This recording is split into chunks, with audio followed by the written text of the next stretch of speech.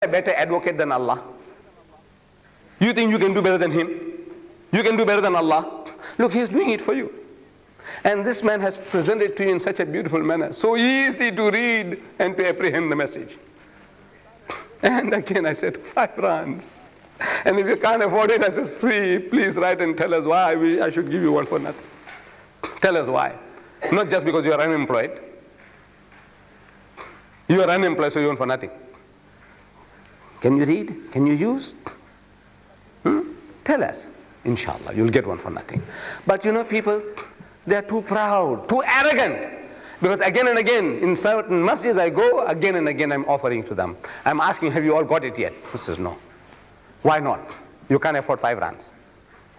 I said, why didn't you ask for one for nothing? You're too proud, you're too arrogant.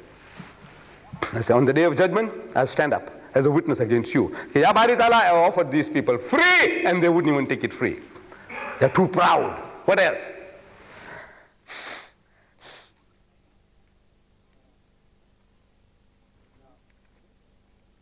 Now, the Westerner, when this the controversy was at its height, the university contacts me in Durban.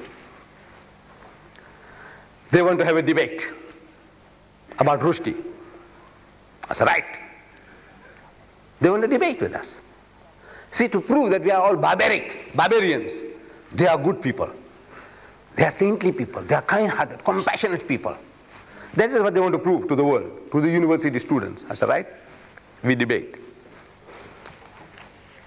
So they chose a candidate, Professor Gardner. We advertise, should Rushdie die? Should he die? Question mark. Professor Gardner and Ahmed Deedat. As soon as we advertise this, they backed out. They said, no, there'll be trouble. You know, the Muslims are barbarians. They might go berserk and start killing people. So we said, look, we are prepared to have three of you at a time, all your professors, your giants of literature. Giants, giants. Writers, great writers. We have three of you at a time under controlled conditions. We have a studio. Like the SABC TV in Durban, we have our own studio. So in the studio, look, these cameras have been brought from South, from Durban. These are all ours. We have been organized, alhamdulillah, into a situation where we can, you know, do something on the same scale as SABC TV. So under controlled conditions, come three at a time. No? I was only asking them two minutes. I said, you see, you say absolute freedom of speech. Rushdie is entitled to absolute freedom of speech. He has a right to say what he likes. I said, that freedom of speech you give me for two minutes. That's all. What he calls my mother, let me call your mother that. That's all, for two minutes. I'm not asking anything more difficult. What you want to call swear my mother, sir, let me use those same words for your mother. And I want to know how you feel. I want to see your reaction. What would you do?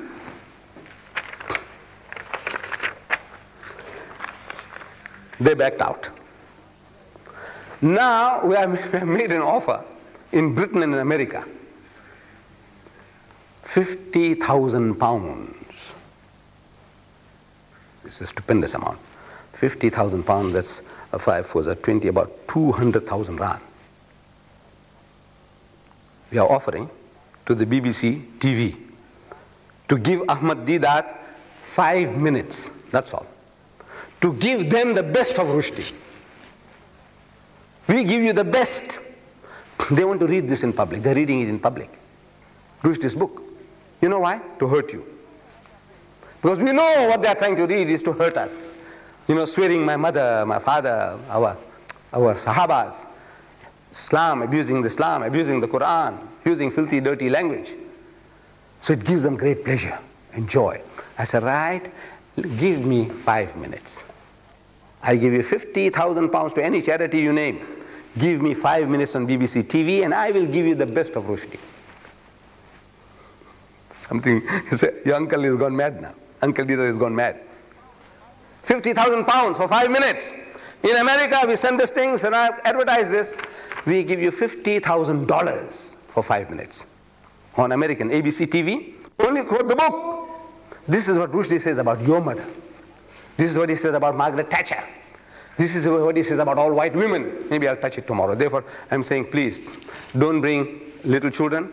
Don't bring uh, women. If those women are big enough, stern enough to, to hear, you know, I don't know what I'm going to do. I don't know. Look, wallah, I don't know. But it's a very difficult task.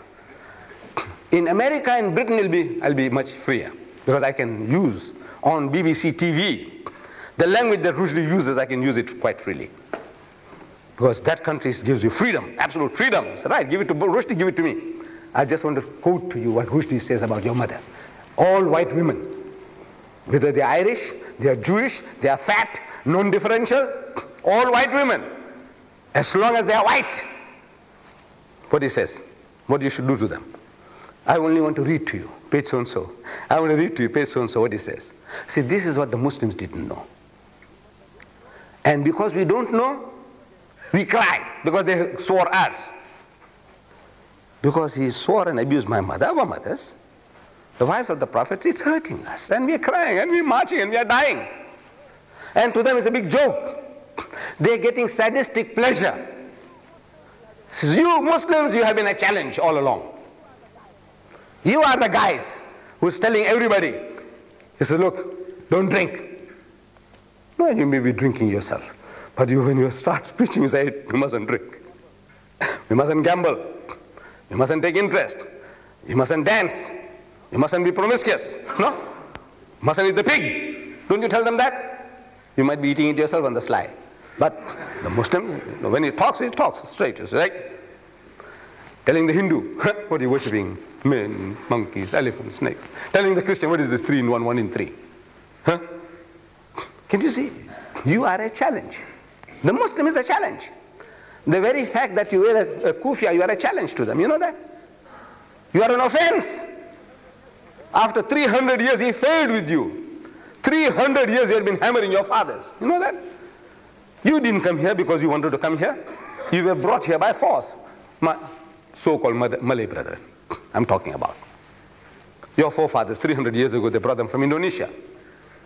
Those who were fighting for their freedom. They were captured as prisoners of war and shipped to the Cape of Good Hope and sold to the white men as slaves. Then when the British conquered Malaysia, those of our brethren who were fighting for their freedom, they were captured as prisoners of war and shipped to the Cape of Good Hope, Good Hope for the white man, and sold to the white men as slaves. Therefore you carry their names. Fuad Hendricks. That Hendricks is Christian, Fuad Hendricks is Muslim. What is this Hendricks, Hendricks? You know, look, I'm not, wallah, I'm not trying to make a joke of it, but now this, because they were our slave masters. We were sold to them as slaves. Our fathers met in private. They were not allowed to even make salat, pray. So you meet people there, under those conditions. So what's your name? Say Muhammad. And you, Yusuf. And you, Dawood. And you, again, Muhammad. And you, Suleiman. And you, again, Yusuf. How do you know who's who? So which Muhammad? He said, no, I work for Hendricks. So, you know, when we talk about you in the future, Muhammad Hendricks. And the guy who was slaving for Hendricks. And you, for Fenta, Daud Fenta. And look, this, this is how the names came about. They changed our language. They changed our language. You speak Afrikaans at home. You are more at home with Afrikaans as a mother tongue than English. You are bilingual, alhamdulillah, both languages, English and Afrikaans. You're good at both. But you speak Afrikaans more. How did that happen? You lost your own language. To such an extent